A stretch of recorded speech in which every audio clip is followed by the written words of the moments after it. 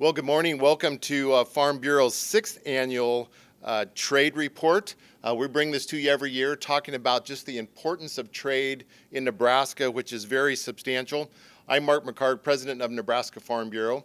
I live on a fourth generation farm in Central City, Nebraska. Uh, we do both organic and conventional farming on corn, soybeans, uh, popcorn. We also have a hog operation. Uh, to me, uh, the, the, value of trade is just really hard to articulate, and hopefully by the end of the time that you'll have a better understanding. Uh, trade in Nebraska accounts for almost 30% of all the ag receipts that we get in for Nebraska. 30%, think about that, is attributed to trade. Uh, Nebraska is the fifth largest agricultural trading state. So if you put all the states together, we rank the fifth highest in trade for ag products. Uh, 2021 was a record year again for exports and agriculture commodities.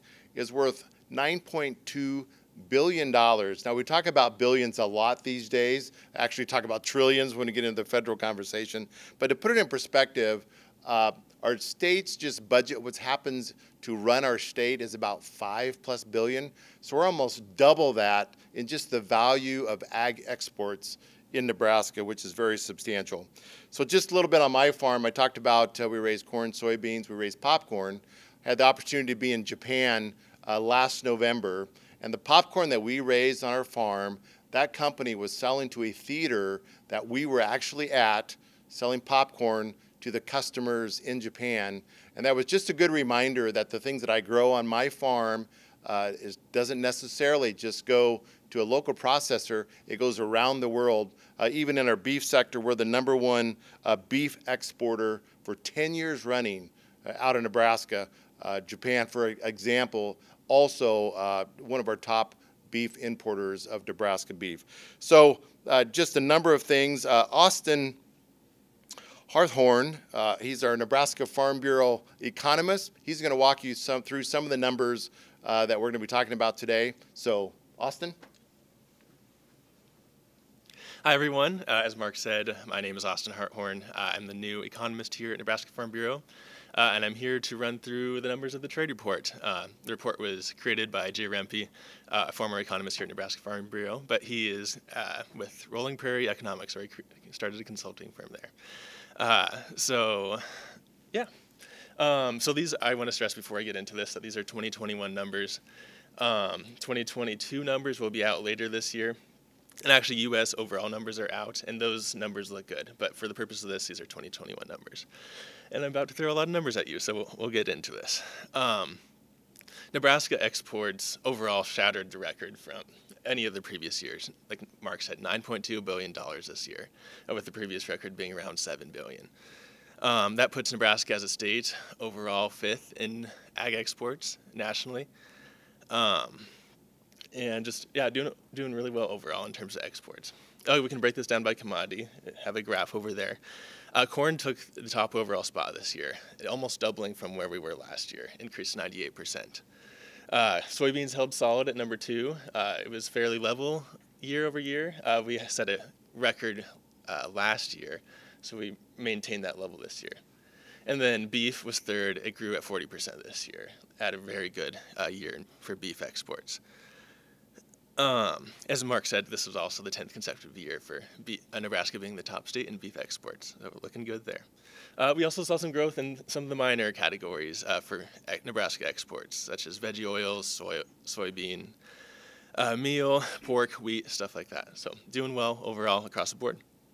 Uh, we can break this down by county level uh, and look at where production happens and where exports are being taken out of. Uh, and you can see uh, this chart over there.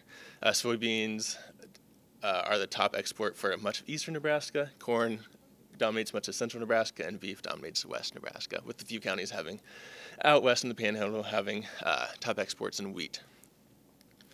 But those are kind of the highlights of the report. Uh, I can kind of, I'll kind of go into some takeaways, or my personal takeaways from what I gather. Um, so we had big export records this year, uh, specifically in beef and corn and we can talk about why that is, and a lot of it has to do with trade expansion in countries such as Mexico and China. Uh, in the news a lot lately, no surprise. Um, from 2020 to 2021, corn exports to China grew at 300%. Uh, in beef, they grew up 400%. They became a huge importer uh, of beef, and that's new. Um, switching over to Mexico, corn exports grew at 76% there, and that's significant for Nebraska. almost 90% of our corn goes towards Mexico. So you start thinking about this uh, trade deal with Mexico, and you can kind of see the fallout there and how much impact it can have on Nebraska. Um, but those two countries, a lot of Nebraska exports and U.S. exports go to those countries. So uh, trade relations there are going to be a big deal going forward, specifically for Nebraskans.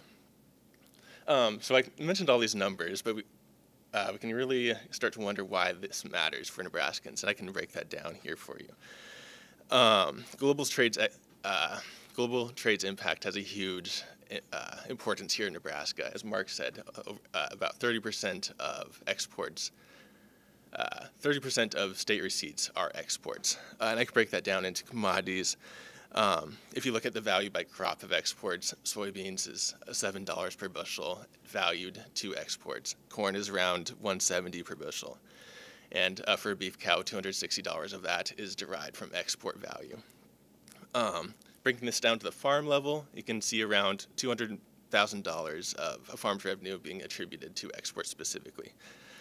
Uh, and that thereby goes into local uh, economies there and revitalizes and makes them more resilient. So uh, overall, I just really want to uh, stress um, exports have a big deal uh, here locally in Nebraska. And it's easy to think about uh, just taking corn to the local elevator or taking uh, cattle to the local sale barn. But beyond that, beyond that line of vision, um, there's big impacts happening, and that's what I really want to stress here. So, but for now, I'll turn it back over to Mark. Well, thank you, Austin. I appreciate that. Uh, just a lot of numbers, and we'll certainly uh, have the trade report available, the full trade report available to uh, those of you that are here and also those of you that are online. Uh, we want to welcome welcome you as well. But we know that trade doesn't actually actually happen in a vacuum. There's a lot of policies that are around trade to enable us to trade with uh, partners from around the world. We are privileged to have uh, Congressman Adrian Smith here uh, with us this morning. Uh, Adrian is uh, on the Ways and Means Committee, is also the chairman of the Ways and Means uh, Trade Subcommittee. And I can tell you that if anybody in Washington on the House side of the equation, Adrian is the guy, the top guy that, that understands and is a senior in the trade conversation. So, Adrian, welcome. Thank you. It's great to be here. It's great to be out of Washington and back on the front lines of our economy, as I like to say, uh, visiting producers and various work sites uh, around uh, the third district. And I thank you for uh, having me here today to, to, talk about trade. When it comes to trade, we're either gaining or we're losing. Uh, I don't think there's anything like uh, trading water, so to speak, on trade. And I, I, feel like we're losing ground right now because trade does not seem to be a priority from President Biden. Uh, you take the, the, situation with Mexico. Uh, you know, agriculture was, I, I think, uh, instrumental with uh, trade, North American Free Trade Agreement some years ago. Uh, benefited from that, and when uh, the notion came up that it would be renegotiated, there was some you know, some concentration on let, us make sure we do no harm and lose the advancements that we have made. And so a lot of folks leaned into uh, the discussion about USMCA. Biotechnology was key. Uh, definitely uh, with, with Canada and Mexico and, and, USMCA, biotechnology needed to be there uh, because it wasn't there with NAFTA. Um, Mexico agreed to, to accept our GMO product, and now they're saying they won't take it. Uh, this is something that's been happening for some time now. I'm glad that the administration is, is finally uh, taking action uh, to the formal action that can be a little bit cumbersome and, and time consuming. Uh, I wish it would have started some time ago. Uh, I, actually, I wish that uh, President Biden would take a stage anywhere with any kind of background, to take a podium on a stage and say what Mexico is doing is not right. Now, from the previous administration having trade, leveling that playing field of trade as such a high priority, and, and, then leaving office and presenting actually the Biden administration with some great opportunities on trade. The Biden administration ha has chosen not to take advantage of those, whether it's trade with Kenya, uh, pushing for um, trade with uh, the UK and to include agriculture as well, very important component there. Uh, the numbers speak for themselves. Uh, Austin pointed out uh, that, uh, for example, exports to, to, China have increased over the last few years, uh, but especially with, with that push during the previous administration uh, to, to really level the playing field and enforce the agreements that are in place. That, that is always key. You don't really have a, a trade agreement without enforcement. And so we need to lean forward, to really lean in on, on the trade issue, uh, and encourage the president to, to do the same. Uh, it is it's absolutely vital. We have lapsed uh, trade policies that would help our supply chain, and yet they've been lapsed uh, for more than two years. So now that there's a new majority uh, in in the House, I think we can change that. Uh, but uh, we, we've lost ground, make no mistake. Uh, we have lost ground over the last couple of years as it relates to trade. So uh, we, we need to take advantage of these opportunities of, for example, Kenya uh, being eager to engage in a trade agreement with us. Uh, they're not the largest market per se, but they can help tee up good policies uh, to spread across the continent, continent of Africa.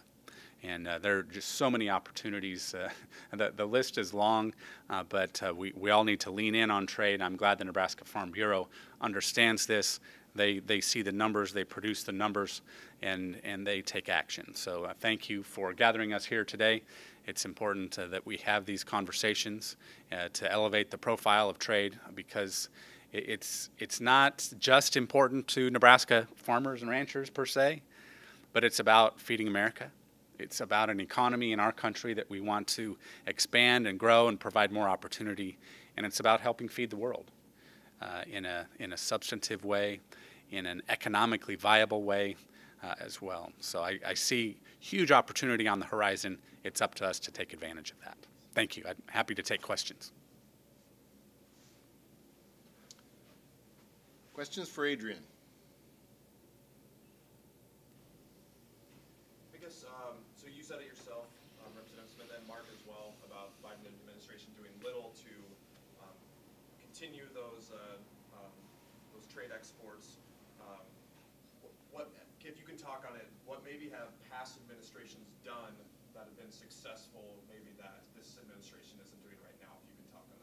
Well, every administration does things a little bit differently, and that, that's fine. Uh, in fact, that can be good.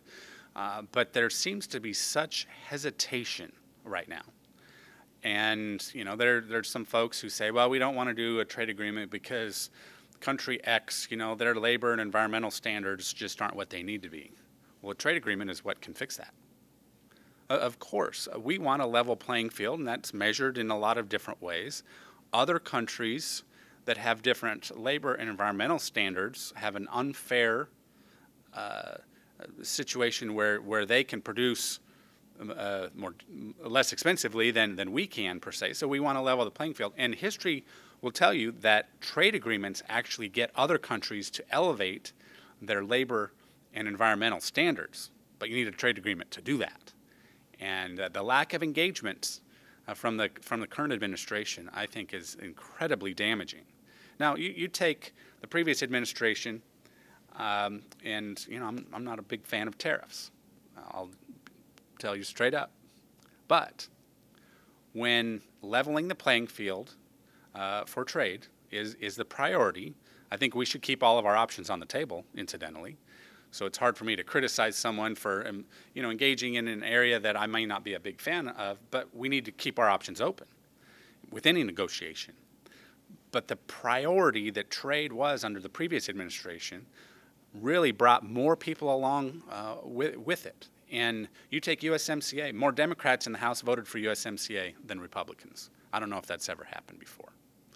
Now there, there had, there were some priorities there. Uh, contained in the bill. It was a, it was a Trump priority. The, the very bill, the renegotiation of NAFTA being USMCA, that was a Trump priority. And they brought more Democrats along than I think ever ever before. And, and I think that's that's a great approach that we can that we can uh, use as a springboard for, for more trade agreements uh, moving forward uh, that can bring a lot of folks here uh, uh, around our own country along uh, to understanding uh, the importance and, and the uh, opportunity around trade.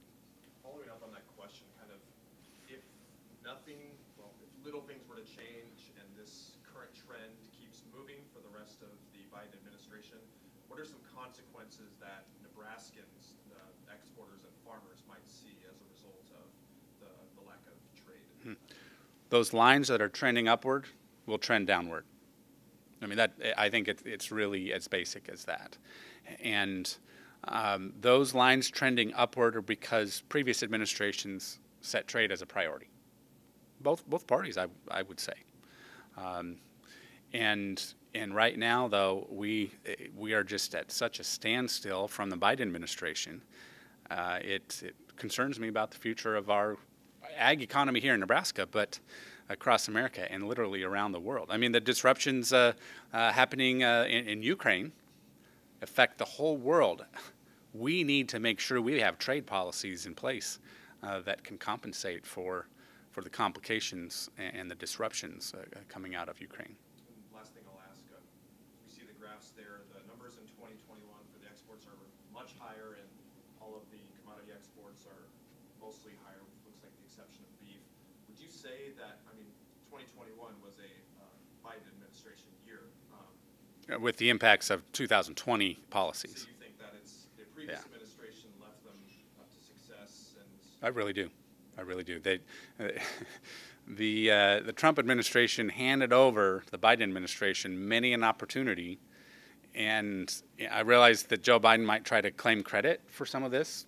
There's a trend in his rhetoric, um, but fact of the matter is, it, it's the, the upward trend there is because of the priority that the previous administration placed on trade, enforcement, and, and leveling the playing field. Because, like, you know, for, for decades, uh, trade policies unintentionally tilted the playing field uh, against us. We happened to give other countries more access to our markets than other countries gave access uh, for us into their markets. And that's not a sustainable uh, situation. And we, we need to uh, correct that uh, every opportunity we have. Kenya, UK, these are uh, two, two uh, great opportunities right now. We just really need to lean into it. You bet. Other questions?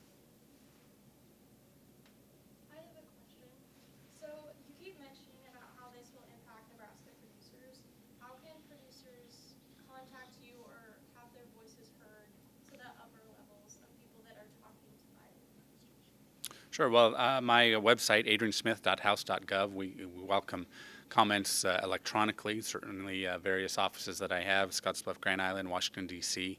Happy to hear from folks. Um, it, it's it's their ideas that I that I take to Washington and uh, their perspectives. And America is a big country. Nebraska is a big state. And agriculture is a very broad industry uh, across our state. We grow things in parts of our state that we don't grow in other parts of our state and uh, but very productively so. I know um, when you look at water policy, that's that's very important as well for, uh, and th- that's different across our own state. Um, uh, whether it's you know uh, policies with the state government as, as well uh, relating to um, wells and, and the access to, to water, surface irrigation that tends to be more of a federal issue. That that is key as well. And so we want to make sure that we have a vibrant opportunity uh, and that innovation can lead the way. It's impressive that uh, we've seen the advancements uh, that we have, whether it's through biotechnology or the, the sheer will of producers to do more with less. Uh, the fact that we've seen record yields amidst a drought, that doesn't happen by accident. And uh, that very intentional effort to, to modernize uh, methods of production. I think uh, they've they've shown some dividends. Let's let's take advantage of that though, uh, as we do help feed the world, and um, and, and, keep a, a vibrant and and viable agriculture economy. Anything else? All right. Thank you. Well, th- thank you, Adrian, for being here. Austin, thank you for your work on the trade report. Uh, it's clearly uh, one of the reasons that trade is one of the top priorities for Nebraska Farm Bureau. Uh, we get to uh, visit with Adrian on a regular basis. We're out in Washington advocating on a regular basis as well for agriculture, for trade.